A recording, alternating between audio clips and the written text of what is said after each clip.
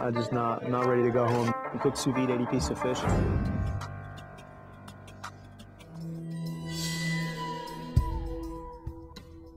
Were you the one who cleaned the fish? I thought that it tasted great, actually. Half the people at our table had scales, including myself and Ming.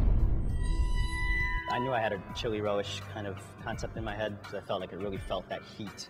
Who did the shrimp? Our concern as a team was that we didn't want to overpower the meat. Right. Had you made that caviar before? Of course, yes. It did need a little more flavor. It was just a great dish. Really, really nice. In terms of seasoning, I, I like really strong flavored foods. It was spicy, in a good way. You're here because the carpaccio wasn't very good. Okay. And one of you will be going home.